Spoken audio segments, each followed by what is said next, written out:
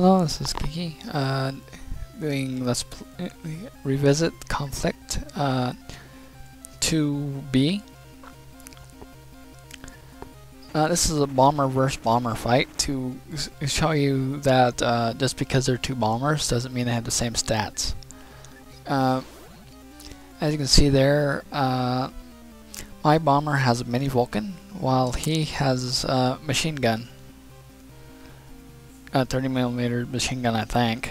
Uh, so basically, I can do make one point more damage than him. Uh,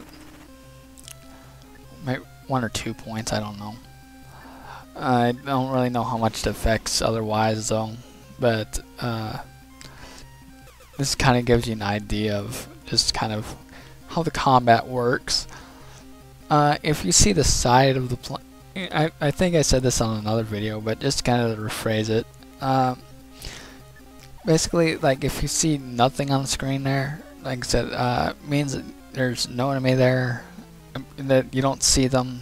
If you see the back of the back of it, that means that you're behind them. If uh,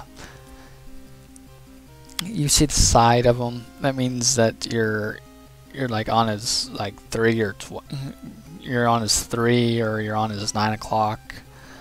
Uh, so just use those as a reference guide. Uh, for if, especially like if you're doing ground to ground battles, it, that's extremely important to know the position of how your camera look, looks at them. Because it lets you know if you're on the side of them or if you're behind them or if you're uh, in front of them to set up your shots or let you know if what you need to do to uh, get them back on your screen.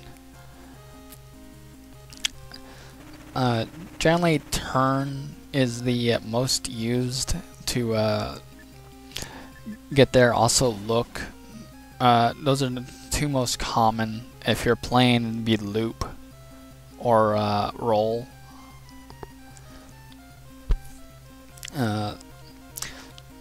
If you're like a helicopter, it would just be turn. Um, so uh, just kind of keep that in mind. Uh, adjust works to uh, just if you're needing to fine tune your shot, and look is just it gives is a more focused version of adjust.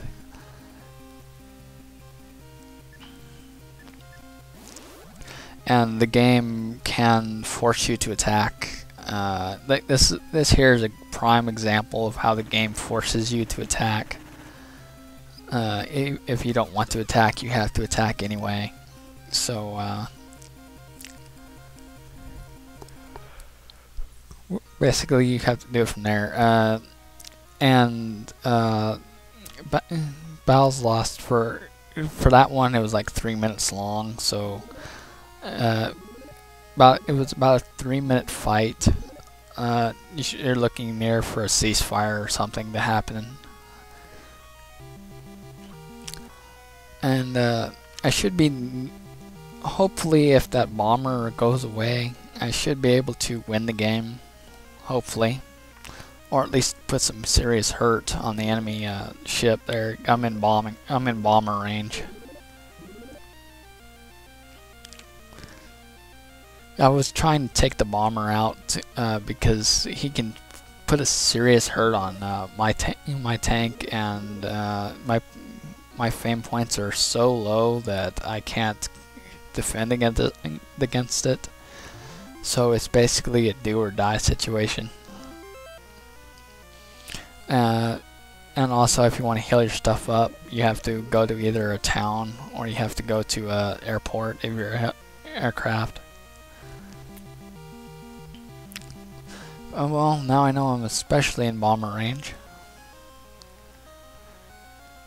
And he's producing a fighter already to try to take out my bomber. And luckily he pulls his bomber back to uh, heal up, so that, that gives me a little bit of time. I think uh, th there's another comparison. I think this one fully heals up, while uh, Advanced Wars only does two points per turn, and it's based on your cash. So, uh, That's another thing to check out, and uh, don't quote me on that because I haven't tested it. If somebody has actually played Conflict and uh, can tell me if it's a full heal or not, please post it. Uh, but I'm just basing off my assumptions. Considering that the town capture is just automatic when you pop it on there versus Advanced Wars, you have to jump on it uh, and capture it with an infantry guy. This one, you can have aircraft take it over, fighters can take it, bombers can take it, helicopters can take it, it doesn't matter. And I still don't understand this. The enemy unit can be captured or can't be captured. I, I don't get that text there. If somebody can explain that mechanic too, I'd appreciate it. Also, this game seems to favor if you use your uh, missiles more than your machine guns uh, to do auto kills and whatnot. Uh, basically, I think it's just quickly kill your infantry, your enemy off quicker. You just use your missiles. Uh, but this is a prime example here of how look and adjust and uh, all that kind of work.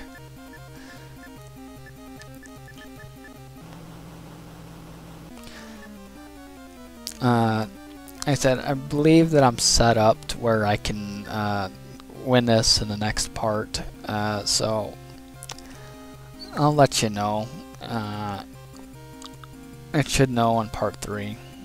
I'm not. I'm not quite sure. Uh, this being part 2B, of course. So uh, basically, I just did a uh, did one mass recording of it uh, for each like segment. Since RTS games are notorious for being long.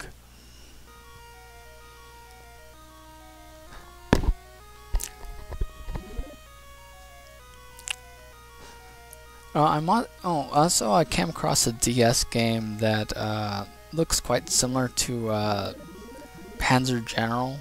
Uh, I might do a comparison of that one.